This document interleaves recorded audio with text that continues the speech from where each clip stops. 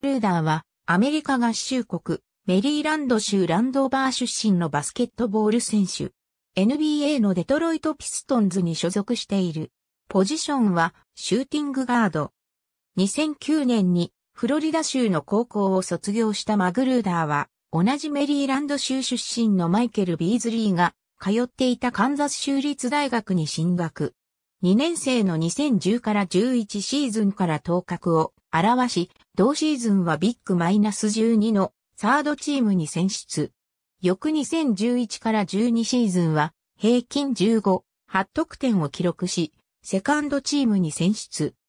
続く2012から13シーズンはネイスミス賞の候補にも挙げられるなど順調に成長したマグルーダーだったが、2013年の NBA ドラフトでは指名外に終わった。マグルーダーは同年夏の NBA サマーリーグでシャーロット・ボブキャッツの一員として参加。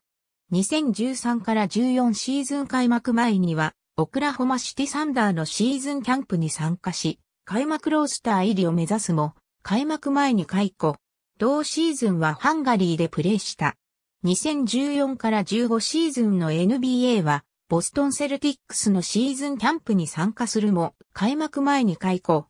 解雇に、参加のメインレッドクローズに送られて、NBA 入りを目指すも、2015年3月26日に解雇。4日後にスーホールズスカイフォースと契約。残りシーズンを過ごした。2015から16シーズンは、同チームの提携元のマイアミヒートのシーズンキャンプに参加するも、開幕前に解雇。解雇後再び、スーホールズスカイフォースに送られ、主力として活躍。同チームを D リーグ優勝に導き、ファイナル MVP に選出された。2016から17シーズンの開幕前は、再びヒートのシーズンキャンプに参加し、今度は開幕ロースターを勝ち取り念願の NBA 入り。